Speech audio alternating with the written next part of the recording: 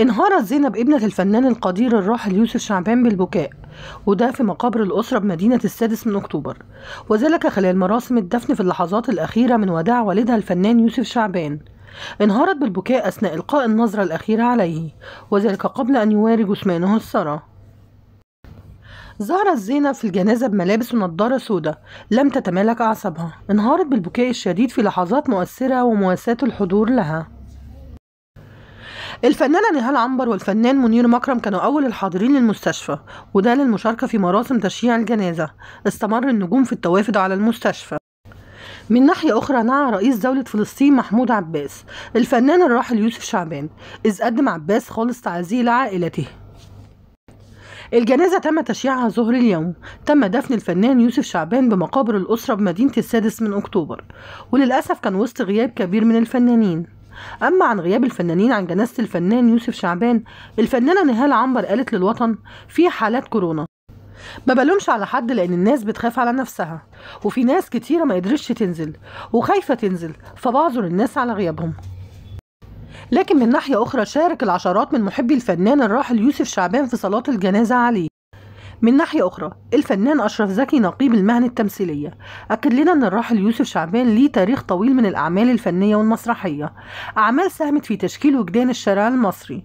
أشرف زكي قال لنا على المستوى الشخصي إن الفنان يوسف شعبان أخويا وللأسف أخويا مات. قال كمان إن هو استطاع إن هو يحببنا في العديد من الشخصيات اللي قدمها من خلال مسيرته الفنية. كما أضاف الفنان أشرف زكي أنا اتشرفت بالعمل مع الراحل الفنان يوسف شعبان في أكتر من عمل وسيظل إحدى محطات النقابة.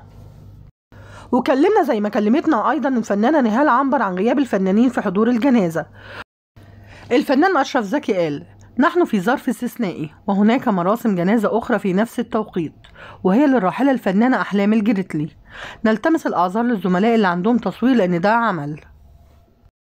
تابع كلامه وقال التصوير مش رفاهية الفنان يوسف شعبان لغاية آخر لحظة كان بيشتغل. وبرر وقال الأشجار دايما بتموت واقفة. الفنان الراحل يوسف شعبان ترك تاريخ فني حافل تاريخ زاخر من الأعمال المتنوعة ما بين السينمائية والدرامية.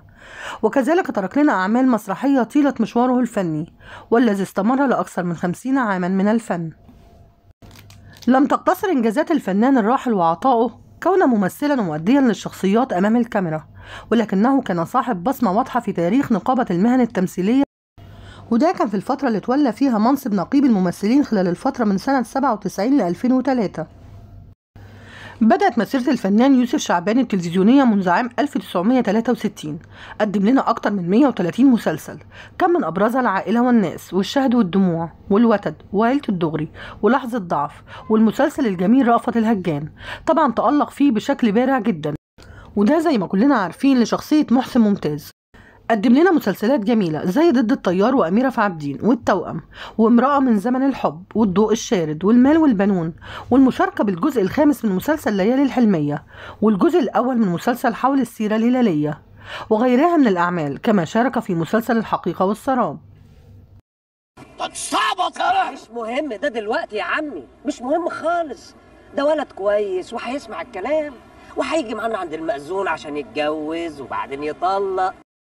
مش بس كده ده قدم لنا الفنان يوسف شعبان مسلسل غريب أبدع فيه باختلاف اللهجة المصرية اتكلم باللهجة الأردنية والذي اعتبر الأكثر مشاهدة في دول الخليج والأردن وسوريا في حين عرض المسلسل. المسلسل اسمه وضحى وابن عجلان. شاركته البطولة من سوريا سلوى سعيد ومن الأردن نبيل المشيني. بدأ الفنان يوسف شعبان مسيرته المسرحية بالمسرحية التلفزيونية الطريق المسدود وهي من إخراج الفنان نور الدمرداش.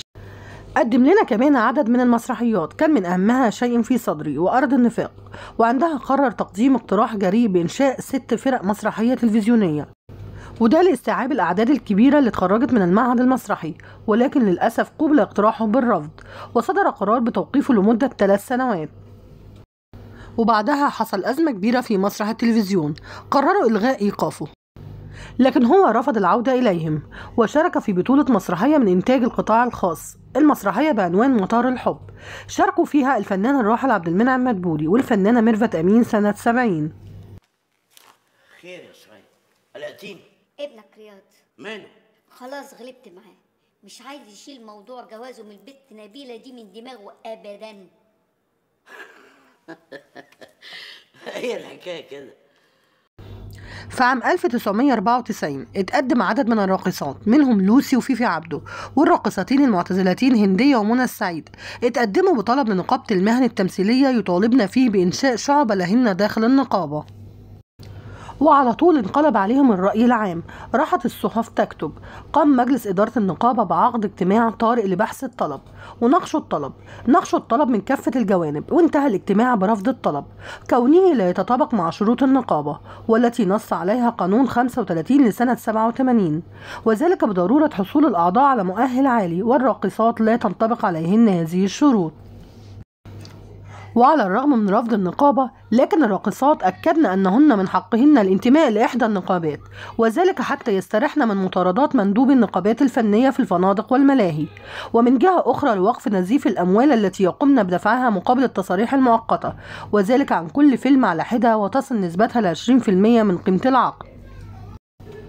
ووجهت على الفور فيفي عبده دعوة عاجلة لكل راقصات مصر لحضور اجتماع عاجل في أحد فنادق القاهرة. حضروا حوالي 170 راقصة وأبدت فيفي عبده فيه غضبها الشديد. غضبها من هذا التعنت. كأنهن نكرات. وده على حد قول الفنانة فيفي عبده وقالت الفنانة نجوى فؤاد أنه على النقابات أن تتعامل معهن بوجه واحد وليس بوجهين حينها اقترحت الراقصة دينا إنشاء نقابة خاصة بهم وتم تكليفها باتخاذ الخطوات الفعلية وتوكيل محامي شهير بإعداد الأوراق الخاصة. أما عن رأي الفنان يوسف شعبان قال أنا لا أنفرد بالقرارات وفتح الباب أمام الراقصات سيجبرنا على التعامل مع مئات الأسماء المشبوهة والمغمورة والمشكلة هنا لا تتعلق بكبار الراقصات ولكن ستكون هناك ثغرات تمر منها الفنانات المغمورات وأعتذر وأنا أقول أن بعضهن منحرفات وسيئات السمعة. يوسف شعبان كمل كلامه وقال ومحاولة المقارنة بينهن وبين راقصات الباليه أو راقصات الفنون الشعبية فيه الكثير من اللغط والتجاوز. هنرجع نكمل كلامنا عن جنازة الفنان يوسف شعبان. أصيبت الفنانة نبيلة عبيد بحالة من الانهيار والبكاء الشديدين وذلك فور تلقيها خبر وفاة الفنان يوسف شعبان. الفنانة نبيلة عبيد شاركت الفنان يوسف شعبان في عدد من الأفلام السينمائية ودخلت الفنانة نبيلة عبيد في نوبة بكاء شديدة وقالت يوسف شعبان مات. قدمت معاها أفلام كتيرة كورونا السبب مش مصدقة كله عمال يروح واحد ورا التاني. ثم انهارت في البكاء ورجعت كملت كلامها وقالت ربنا يصبرنا ويصبر أسرته ومحبيه. لسه عارفة الخبر حالا. حبيبي في الجنة. مش قادرة أستوعب اللي حصل. من الأفلام اللي جمعت ما بين يوسف شعبان والفنانة نبيلة عبيد كشف المستور وحارة بروجوان واغتيال مدرسة وقضية سميحة بدران. بينما نعى الفنان محمد صبحي صديقه يوسف شعبان وقال رحل اليوم الفنان والإنسان الرائع يوسف شعبان صديقي وزميلي وحبيبي. رحلت وتركت فنك الباقي في قلوبنا. بكل الأسى والحزن والألم أدعو الله لك بالرحمة والمغفرة وأن يسكنك فسيح جناته. وللأسرة والأصدقاء الصبر والسلوان. من ناحية أخرى سادت حالة من الحزن داخل الوسط الفني منذ إعلان خبر وفاة الفنان يوسف شعبان. رحلة فنية طويلة. رحلة استمرت لما يزيد عن 60 عاما. قدم لنا خلالها عدد من الأعمال المهمة التي أثرت في تاريخ الفن المصري وعاصر خلالها مختلف الأجيال. وبكده النهارده نكون وصلنا لنهاية فقراتنا عن جنازة الفنان يوسف شعبان. ندعو له بالرحمة وحسن المغفرة. المال ده حرام يا سلامة فراويلة وايه حرمه بس. ما تخليش الشيطان يضحك عليك يا سلامة طب ما تقول المال والبنون زينة الحياة الدنيا.